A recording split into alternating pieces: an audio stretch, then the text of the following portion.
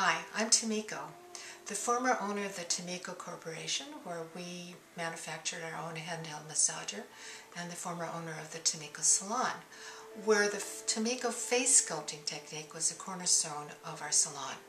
Today we're going to do teach you the simplified version of that technique. 36 years, that's how long it's been that I've worked on this to perfect it, and today you get to benefit from that experience. Today, part one is jowls and double chin. This is Lynn. She's never had a face sculpting before, so she's brand new to the technique. First work the neck and shoulders because you want to work the tension out of those areas so the blood flow flows easily to the neck, to the head. Okay, then carotid artery pump, getting more circulation to the face. And again, that muscle that's doing the dropping falls along this way. It's an elongated muscle. As it loses its tone, we get all of the jowl that we don't want.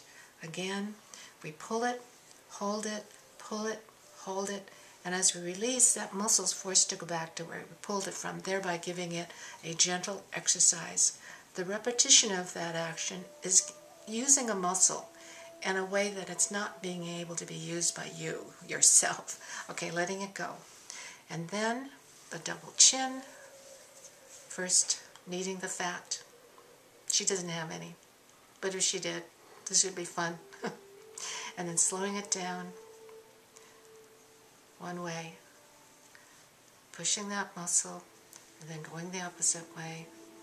And now speed it up. That's what it looks like, speed it up. That's the end of lesson one. You can reach me at mytamiko.com.